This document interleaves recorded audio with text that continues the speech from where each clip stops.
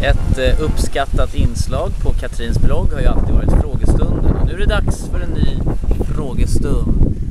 Och här i de varma vindarna i Karibien har vi våran bloggstjärna Katrin. Är du redo för frågestunden? Yes. Ja. Då ska vi se. Fråga nummer ett kommer ifrån, ska vi se här. Eh, Miss E. Har du bestämt dig än? Kommer du videovlogga live på förlossningen? Nej, jag har inte bestämt mig än. Jag kan tänka mig eh, att göra det om allting, om allting går bra med resten av graviditeten och normal förlossning och så, så kan jag tänka mig att göra det. Men det beror helt på vad det finns för eh, eh, intressen kring det. Så vi får se. Nej, jag har inte bestämt mig. Nej. Lite, du tänker att du liksom ligger och solar och svarar lite så. Ja, ja, lite ja. sådär ja. Ja. Det där ser så jävla bra ut. Ehm, Hej, om ni redan upplevt följande, detta några tips från en Sankt Bart-veteran. Ja men det här tar vi inte. Eh, stör det dig att Bingo fotograferar nakna silikonbrudar? Fotograferar eller har fotograferat? Nej, det står att jag fotograferar, men då kanske du kan förklara att jag inte... Att jag slutat med det. Ja, när slutade du med det? 2006. Tre år, fyra år sedan. Ja, han slutade ju fotografera silikonbrudar för fyra år sedan. Så att det var ju långt före min tid. Så att jag har inte riktigt eh, varit i en sån situation där jag har behövt ta ställning till ifall det blir ett irritationsmoment för mig eller inte. Så att ehm, nej. Eh, på vilket sjukhus har ni tänkt att fota? Eh, fota? Nu var jag så inne på fota så att jag sa fel. Föda? BB Stockholm, är det något ni har funderat på? Nå, vi har funderat på BB Stockholm men vi har skrivit in oss på Danderyd och det känns, det känns som att vi föder på Danderyd om vi får plats där och får vi inte plats där så föder vi på Karolinska eller SÖS eller det är verkligen skitsamma vad vi föder. Mm. Jag har säkert hittat bra utsnitt här på dig utan att jag själv... Så där ska du ligga lite ibland. Jag så jag bra. Hejsan, jag älskar din blogg och jag har följt den i två år. Åh, tack! Mm, tycker verkligen inte du har blivit tråkig. Tycker det är kul att se en annan sida av dig. Jag undrar ifall du någon gång funderat på att göra abort eftersom du själv inte tyckte att du var redo att bli mamma. Vad var avgörande för dig? Eh, jag, eh, vad ska jag svara på det? Alltså jag tror inte att man, eh, jag tror aldrig att jag hade känt mig redo som mamma om jag inte hade blivit gravid. Jag tror aldrig att, att jag hade kommit till en punkt i livet där, där jag hade känt så här. Nej, nu känner jag mig redo för att bli gravid. Nu ska jag satsa på det. Så att det var bra att det hände när det hände. Jag är 32 år gammal. Det är inte en dag för sent. Det är inte en dag för tidigt heller. Det är perfekt och det, det känns väldigt bra just nu. Mm. Har ni bestämt vilken typ av barnvagn ni ska köpa? Själv rekommenderar jag absolut Bugaboo. Ja. Det är ingen slump att så många har den. Nej, När du provkör precis. kommer du känna skillnaden mot andra åväken som finns på Ja, marknaden. exakt. De flesta säger ju att man ska ha en Bugabo, så det blir väl en Bugabo. Mm.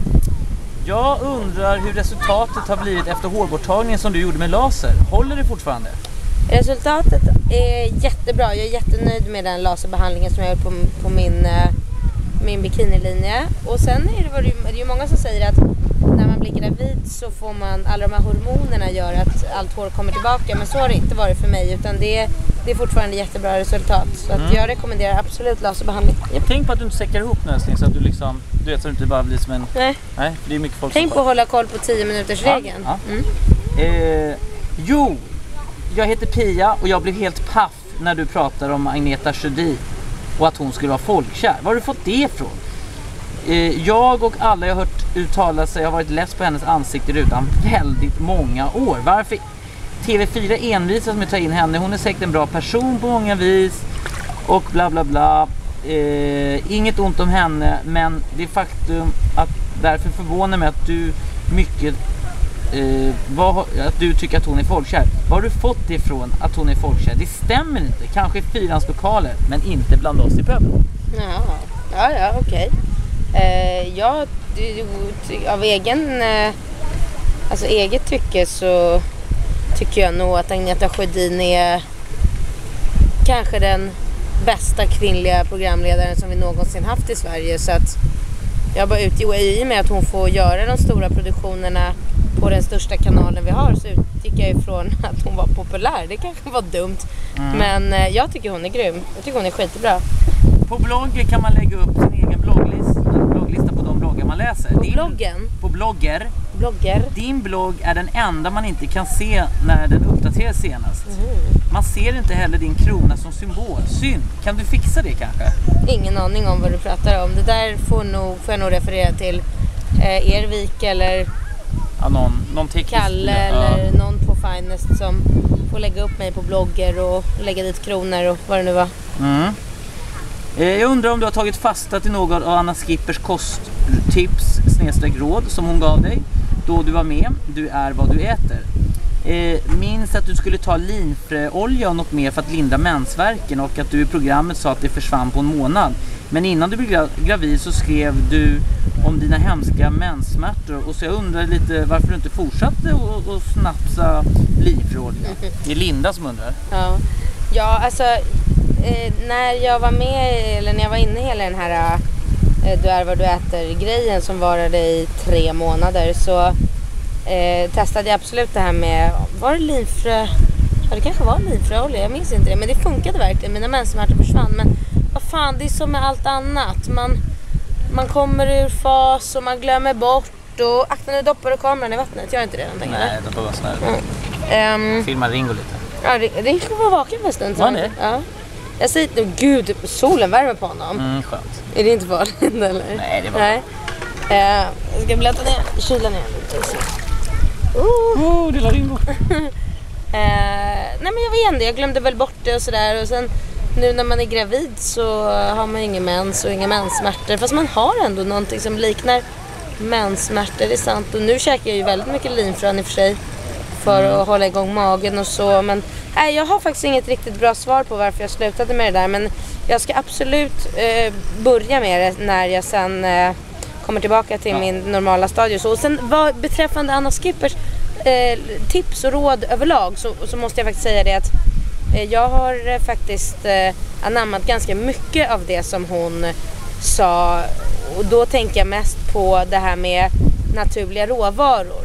Jag, har, jag vet inte ifall det är medvetet eller omedvetet men jag har slutat att köpa skinka och kalkon i såna här eh, färdigförpack förpackade grejer utan sen jag var med hos Anna Skipper så har jag nog bara handlat skinka och kalkon i färskdisken och från Engelska kalkon och sådär så att absolut. Mm. Då skyndar vi på lite. Ja. Carro undrar om du har fått bristningar. Vad tycker du om unga mammor? Har du köpt några kläder till Ringo? Kände du dig ensam när Bingo reste bort så länge? Oj det var jättemånga, jag kommer inte ihåg första nu. Om jag fått Bristningar? bristningar? Jag har fan inte fått några bristningar. Eller? Filma lite här. Nej. Ja, lite. Nej. Nej, Nej, fan nej. det är lite hud, alltså solexem nu men nej jag har inte fått några bristningar. Eh, vad var för nästa? Eh, vad tycker du om unga mammor? Nej men alltså jag, jag har ingen lust och jag bryr mig inte alls om Har du köpt kläder till Ringo? Eh, nej, jag har inte köpt kläder till, till Bingo Ringo. Men jag har, eh, jag har fått lite kläder. Så att jag har lite kläder redo redan. Ja. Kände du dig ensam? Eh, när reste Bingo reste bort? Ja, alltså både och. Det var första veckan eh, var det lugnt, Mm. som det brukar vara. Och sen andra veckan, ja, andra veckan kände jag mig ensam och, och tyckte att det var dags för Bingo att komma tillbaka. Ja. Mm. Och så tar vi en eh, sista fråga i eh, frågestund nummer ett. Mm. Hej, jag heter Martina. Eh, för jag vill få iväg en fråga. Vad är det för modell på dina snygga Ray-Ban? Är det 4126 snygga som tusan? Mm, tack, jag håller verkligen med. Det är, ja, det är 4126 Cats 1000. Cats 1000. Cats 4126, ja de är jättefina. Sjukt Det snygga. är årets, årets Ja. modell. Ciao! Ciao. Gud vad härligt. Ja, det var ju bra. Då eh, avslutar vi där. Har inte tryckt på stoppen? Jag gör det nu.